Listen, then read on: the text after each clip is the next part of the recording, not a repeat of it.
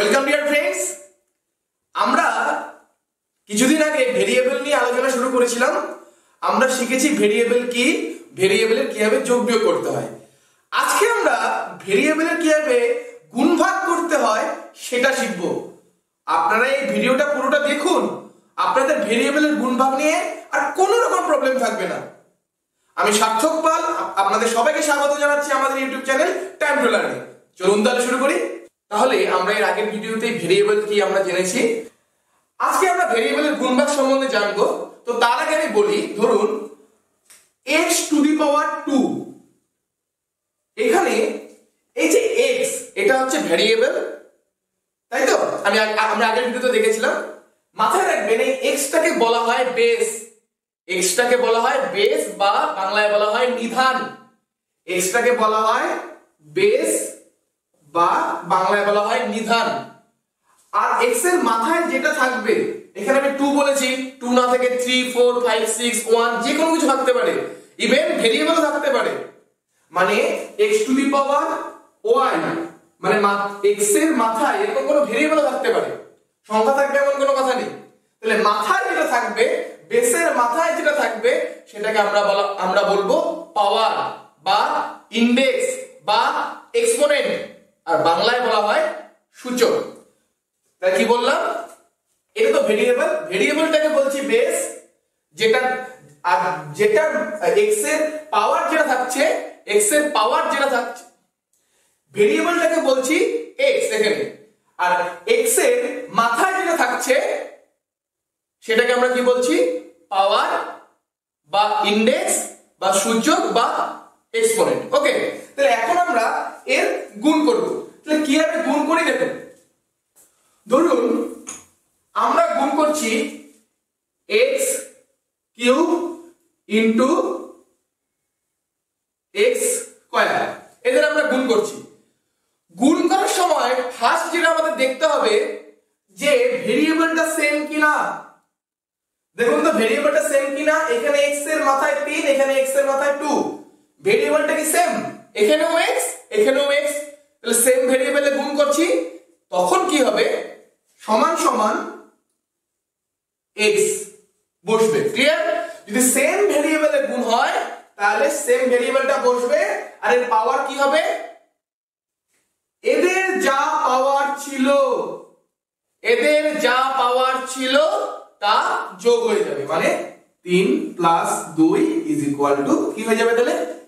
X to the পাওয়ার, তিন আর দুই যোগ করলে পাঁচ।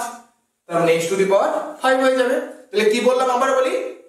যখন আমরা ভেরিয়েবলের গুণ করছি, যদি সেম ভেরিয়েবলে গুণ করি, দেখুন এখানে x এর পাওয়ার 3 এখানে x এর পাওয়ার 2 তাহলে ভেরিয়েবলটা তো সেম যদি ভেরিয়েবল সেম হয়, তাহলে আমরা কি করব? ভেরিয়েবলটা বসাবো, আর ভেরিয়েবলের মাথায় পাওয়ারটা কি করব? যেই পাওয়ার দুটো থাকবে, সেই দুজনকে যোগ করে দিব। মানে তিন যোগ, এখানে তিন ছিল, এখানে দুই ছিল। 3 যোগ দুই, তার মানে x to the power five তার মানে আমরা কি পেলাম? x to the power 3 into x to the power 2 is equal to কত আসলো? x টু দি পাওয়ার 5 এরকমই যদি, এরকম থাকে, ধরুন y to the power 3 into y to the power 2 into y to the power 1 গুণ করছি। সবগুলো ভেরিয়েবল সেম তাহলে এদের আমরা গুণ করার সময় কি করব? ভেরিয়েবলটা লিখব, লিখে এদের পাওয়ার যা থাকবে তা যোগ করে দেব।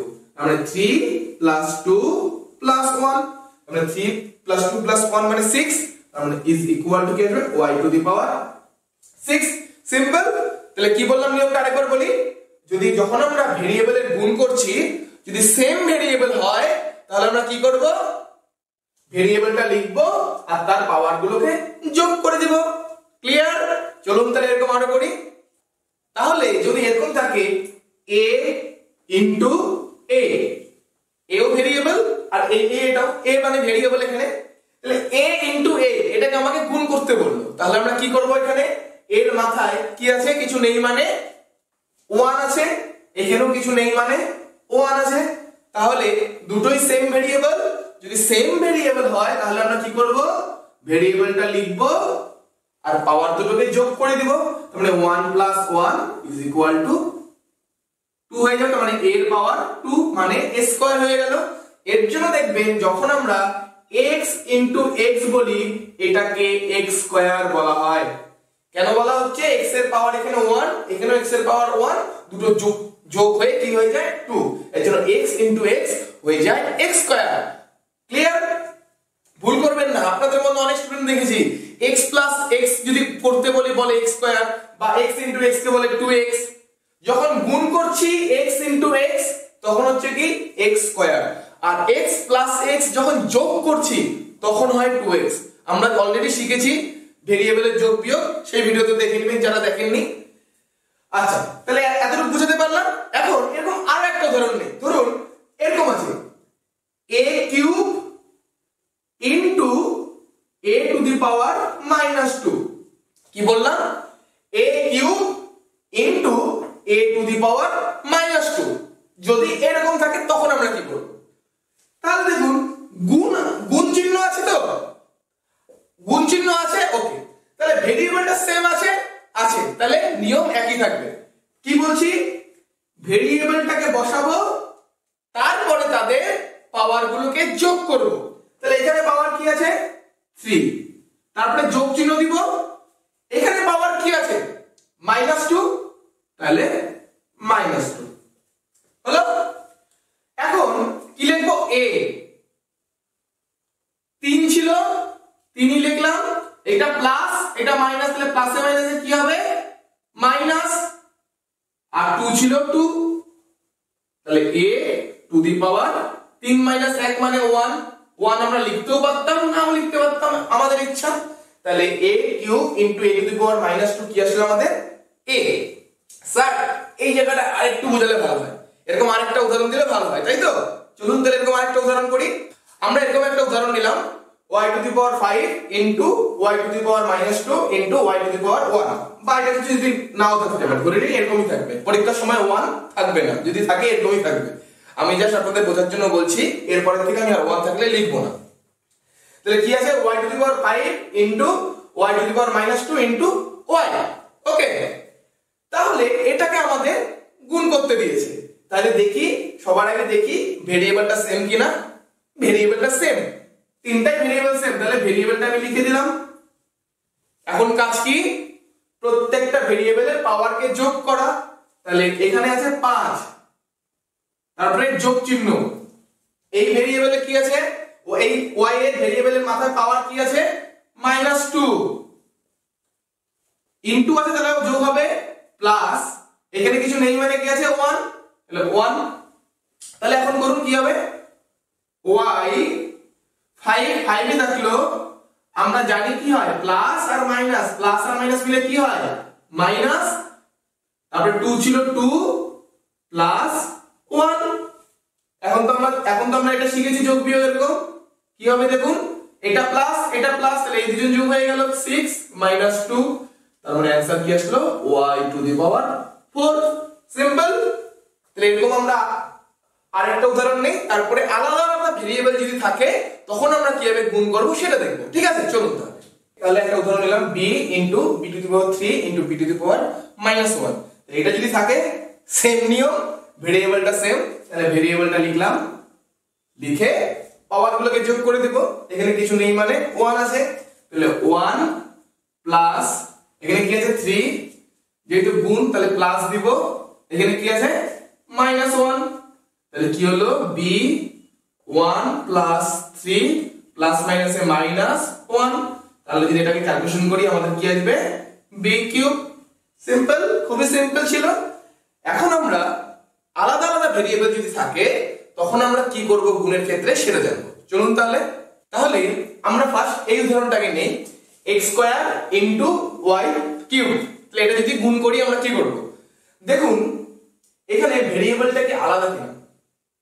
ভেরিয়েবলটা আলাদা, তাহলে আমরা আগে যে নিয়মে গুণ করেছি, সেই নিয়মে করতে পারব না। যদি আলাদা থাকে, তাহলে আমরা সিম্পল x, y এখানে ভেরিয়েবল ছিল, x, y ভেরিয়েবল ছিল, তাহলে x, y লিখলাম। এখন তো আর কিছু করার নেই, আর ভেরিয়েবল নেই, তাহলে সিম্পল কি করে দিলাম?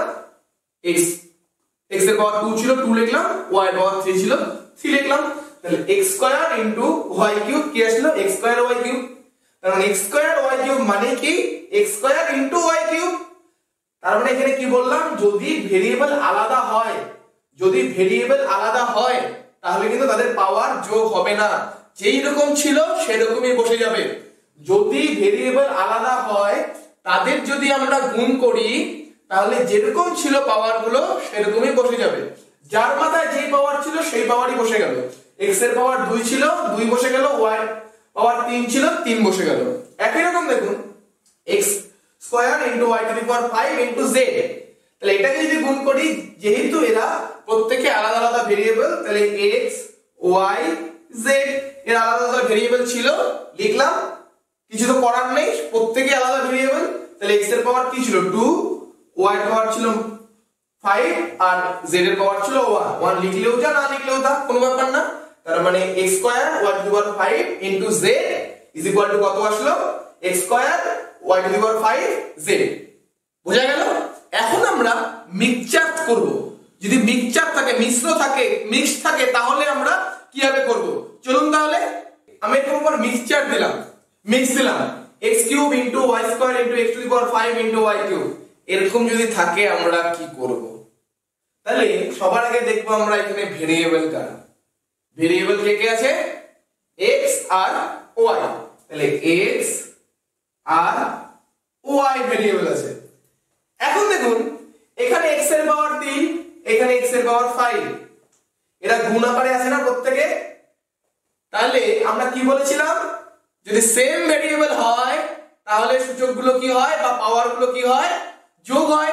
এখানে তো x কিউব এর সাথে তো x5 ও গুণ আছে। X টু দি পাওয়ার 5 গুণ আছে। এর জন্য কি করলাম? এই পাওয়ার দুটোকে যোগ করে দিলাম। আবার দেখুন ওয়াই স্কোয়ার ওয়াই স্কোয়ার সঙ্গে কি আছে? ওয়াই কিউব তাহলে এরা দুজন গুণ হয়ে যাবে। তাহলে দুই আর তিন মিলে কি হয়ে যাবে? পাঁচ।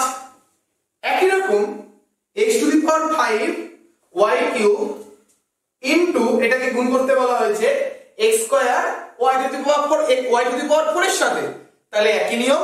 ভেরিয়েবল কারা? x, আর y এখন যারা x ছিল, যারা x ছিল, তাদের পাওয়ারগুলো যোগ করব। যারা y ছিল, তাদের পাওয়ারগুলো যোগ করব। তাহলে x এর পাওয়ার এখানে ছিল 5 এখানে ছিল 2 তাহলে 5 আর 2 যোগ করলে কি হয়? 7 আর এর পাওয়ার এখানে ছিল 3 আর এখানে ছিল 4 তাহলে 3 আর 4 যোগ করলে কি হয়? 7 তাহলে মানে এই দুটো এটার গুণফল কি আসলো? X to the power 7 y to the power 7 simple চলুন তাহলে এরকম আরও একটা করি।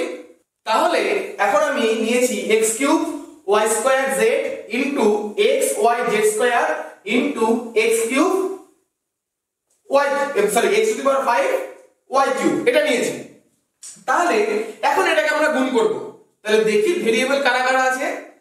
x, y, z তার মানে ভেরিয়েবল কারা? x, y, z এখন এদের পাওয়ারগুলো দেখব কি কি আছে? x এর পাওয়ার এখানে আছে 3 এখানে আছে কিছু নেই মানে আছে, ওয়ান। আর এখানে আছে ফাইভ তাহলে এদেরকে যোগ করব তিন নাকি চার, আর পাঁচ, কত হয়? 9 ও এর পাওয়ার দেখি, এখানে আছে দুই, এখানে কিছু নেই মানে আছে, ওয়ান, আর এখানে আছে থ্রি তাহলে কত হলো? টু প্লাস ওয়ান মানে থ্রি প্লাস থ্রি মানে এর পাওয়ার সিক্স জেড এর পাওয়ার দেখি জেড এর পাওয়ার কিছু নেই। তার মানে এখানে কত আসলো? কিছু নেই মানে কি আছে? ওয়ান এখানে আছে টু আর এখানে তো নেই। তাহলে ওয়ান প্লাস টু মানে এর পাওয়ার আসলো থ্রি তাহলে এটার গুণফল কি কি আসলো? X to the power nine y to the power six z to the power three clear তাহলে এগুলো আপনার বাড়িতে করবেন